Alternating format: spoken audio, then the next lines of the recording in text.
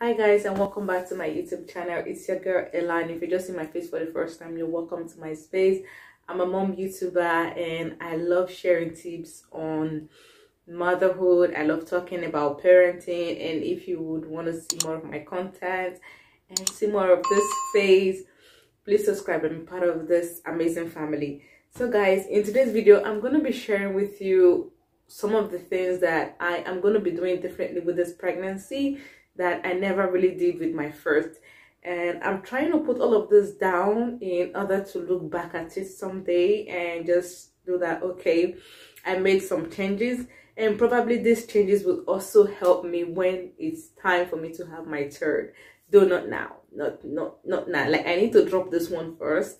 And then after which it's gonna take like years years years extra for the third but then again all of this video i know is gonna help me later. So i'm literally doing all of this for myself and i just hope that i'm also helping someone else out there. So guys let me not waste more of your time.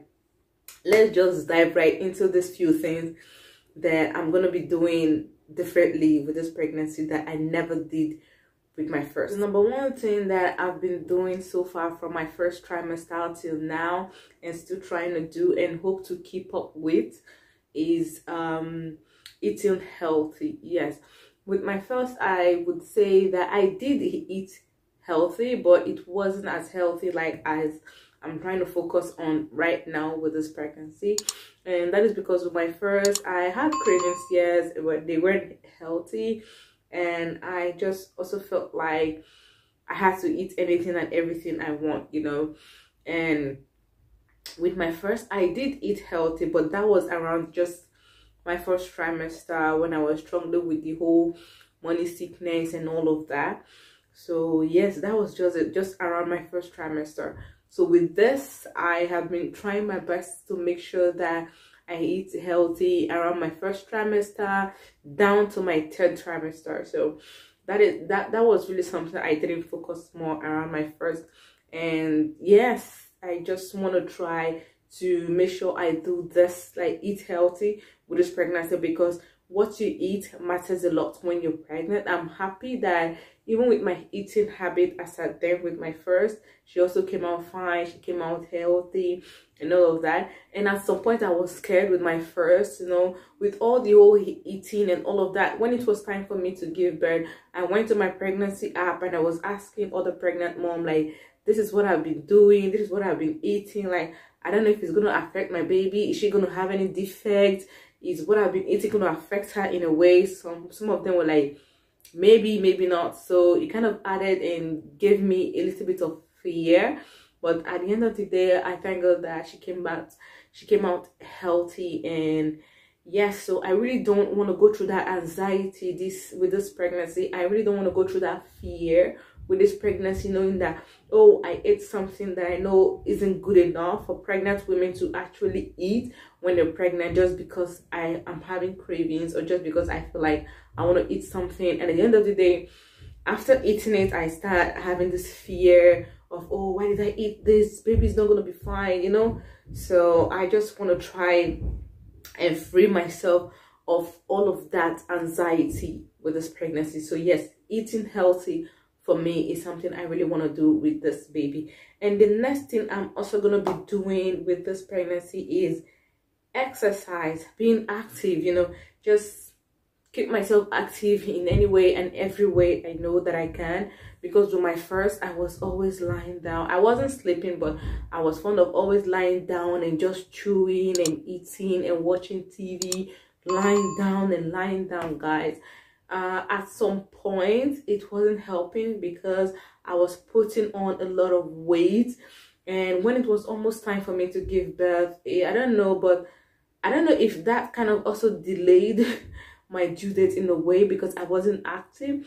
And remember hearing things like if you're active during labor or during your due date, it's not going to be difficult. The baby might just come down around his or her due date and during uh, labor or during delivery, it's just going to be easy for you as well. So I don't know if it's a myth, but I remember hearing something like that. But I didn't take it seriously. I didn't I didn't go for any exercise. I wasn't active. Like I was literally at home, except only when I had to go for um when I had to go for a checkup, for my prenatal checkup and all of that. Aside from that, no, I was always at home lying down eating watching tv lying down eating and watching tv but with this pregnancy i just want to try as much as possible to keep fit you know because with my first pregnancy i added a lot of weight and i never really did lost more of those uh baby weight. And i just happened to also get pregnant as well. And i want to try to make sure that i keep fit you know try to be as active as i can in order not to put on more weight and yes because at the end of the day with my first pregnancy i was blaming myself when i passed my due date with about two weeks or so. I was literally blaming myself like why weren't you active? It's all your fault. You are the reason why this baby never really went down like down down down. The baby was still up. I mean you're not you're not opening. Your your cervix is still closed. Like i was blaming myself in so many ways and I was like, okay, if maybe I was active, the baby would have been going down because I was always going out for for a work or going out for one or two exercise. So there was a chance that the baby would have been going down below and probably my cervix would have been opening and all of that. And maybe my due date wouldn't have like passed with two weeks. So I was really blaming myself a lot when it was almost time for me to give birth and my due date was just running and running and running away from me and i was like so frustrated. So with this pregnancy i don't want to blame myself in any way. I want to do the best i can and know that i tried and also know that maybe when it's not working out or it didn't work out like i planned i will know okay it's not my fault. I tried okay? Than me not making any attempts not making any move and getting to blame myself at the end of the day. So I just want to try my best to keep fit and be active and just not put on more weight than I've already have, you know, you know, before the pregnancy and even during the pregnancy because I know I'm still going to put on a little bit of weight. But then again, I just don't want to make it that big like it was. I don't know if I'm even making any sense, but yeah. So the third thing i'm gonna be doing um differently with this pregnancy is inducing labor. Yes inducing labor inducing labor for me guys it's a no. Trust me it's a no. Inducing labor it's a no with this pregnancy. Uh i can remember like i just said my due date was like all over the place. Baby wasn't coming so i started making plans and i started doing everything and anything i can just to make sure that i i, I don't know that i go into labor you know. I tried everything and anything i can going on google coming on youtube just to see how i can induce labor by myself and at home. I tried uh i tried uh, what's it called? The pineapple. Yes it's pineapple yeah I tried having a lot of pineapple. I tried eating spicy foods. Yes, I tried having like frequent sex with my husband. I also tried going out for the work, though it was late. I like I just said, it was kind of late because the baby wasn't coming. So I just had to push myself like, okay, let me force myself and do this thing. So I go out for one or two walks, but it wasn't that serious, you know and I, I cannot do a few that I really can remember. Uh, I remember something castor oil and a lot of things guys like a lot of things. When it's time for you to actually give birth and you passed your due date and you're tired of being pregnant and you just want to have the baby and the baby's not forthcoming guys you get frustrated and you start doing research. And then at the end of the day you're doing things things that you never imagined that you would do things that you never imagined existed. Like it's just like that. Most of these things that i mentioned i really had no i never really did had any idea that they do existed. But when it was time for me to give birth and the baby wasn't forthcoming i had to do one or two research. And that was when i learned about some things that i had no idea about. And that is just one thing about pregnancy. It makes you do what you never expected that you would do and it makes you search and know things that you never really knew knew was out there. So inducing labor with this baby no i'm not inducing at all.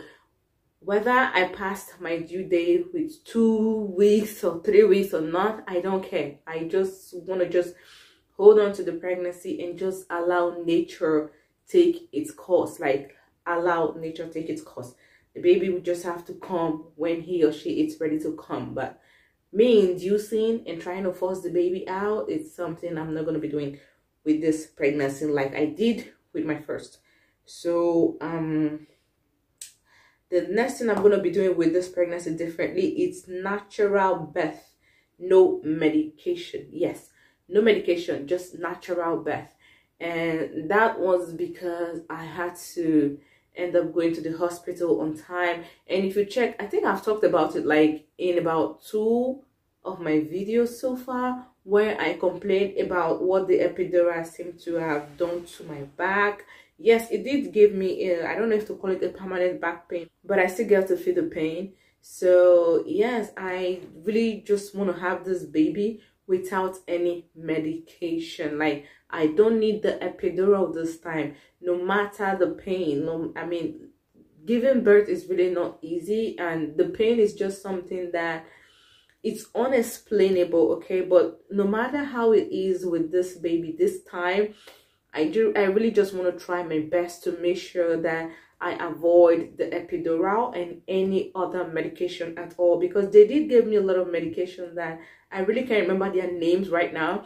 But the one that I know really cost me a lot of damage and made me spend like a whole week at the hospital was the epidural, guys. Like that is a day in my life that I would never, ever, ever forget and it's something that I really don't want it to repeat itself. So with this pregnancy, I just hope and I pray that I really have this baby without any medication because yes, they're not going to force you into taking the medication. It's what you want to. They're not going to force you, but when the pain just becomes too much, you, you won't even know when you request for it. Like you wouldn't even know when you say, please give me the epidural or probably the nurse might just be like, because they did it with me though might just be like, oh, the pain is too much. You're crying. You're going around too much. Are you sure you don't need the epidural? Do you want it? Trust me, you might not just be able to resist it, but I just want to try my best to make sure that I have this baby without any medication. So I would say a natural birth without medication. Nope. So the last thing I am going to be doing with this pregnancy is staying at home a little longer during labor. Not rushing off to the hospital because I want to avoid medications. Yes. So the last thing I want to do with this pregnancy is staying at home a little bit longer and not rushing off to the hospital to, you know, just, I don't know, do whatever, have my baby but I just want to try as much as possible to just stay at home, stay at home and labor at home. No matter the pain, I just want to stay at home, just cry it out, scream, like just make sure that I've opened enough, that my cervix has opened enough before going to the hospital and all of that because at the end of the day i've not opened enough like with my first i think i was at about five centimeter before the whole thing went bizarre with the whole epidural and all of that. So yes, five centimeter, I wasn't opened enough. So baby wasn't forthcoming and I had to take the epidural. So with this baby, I want to make sure that at least I should be around six if not possible six seven centimeter before going to the hospital. So i'm planning on really laboring at home. Like i want to labor at home really hard no matter the pain. I just hope like it's not just about talking about it. Sometimes it's easy to just talk about it than doing it actually like you know. But i just hope that i'm not just sitting down here and talking about it and at the end of the day i'm i get to do the opposite. So i just hope not. So yes with this baby i really hope that i stay at home and labor a little bit longer before going to the hospital you know except for one reason that my water breaks. But aside from that i'm just gonna stay at home. With my first my water didn't break at home. It broke at the hospital yes. So i'm just gonna try and just put everything together. I know it's not gonna be easy. I mean you guys are gonna see all of that. I just hope as i take you guys along the whole journey and all of that i just hope that I, I get to do it you know? It's not going to be easy it's not easy. When it comes to labor and delivery it's never easy but we get to try our best. So with this baby i want to labor at home not at the hospital because when you labor at the hospital they're going to make you take medications and that is one thing i want to avoid. So if i should labor at home a little bit longer and then my cervix gets to open a little bit longer as well getting to the hospital is going to be really easy because they're just going to be like okay you're almost there your body has opened so let's just wait a little bit more and then you can push you know? It's not going to be as difficult as going to the hospital earlier on. They're going to be like okay you're just five centimeter just stay just wait and let's give you some medications while we wait for baby. So i want to avoid that as much as i can. So yeah this is basically the few things that I'm planning on doing differently with this pregnancy that I never did with my first and I really hope that you guys enjoyed this video and hope to see you in my next video. Please don't forget to like this video if you're new to my channel. Subscribe and I hope to see you soon on my next video. Thank you for watching. Bye.